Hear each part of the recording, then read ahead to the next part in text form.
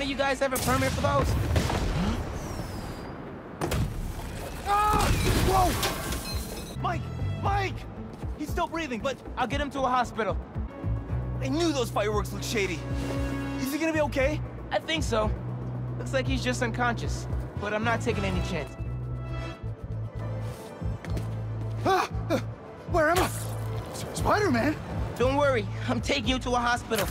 Also, for obvious reasons, I gotta tell you personal fireworks are illegal in New York.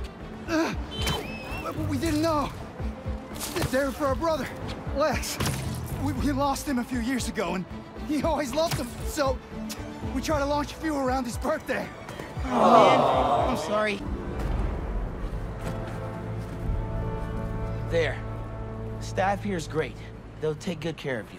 Are you sure Thanks. about that?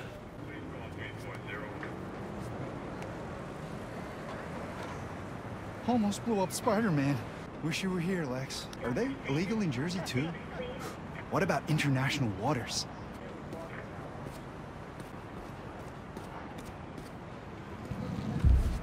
Oops.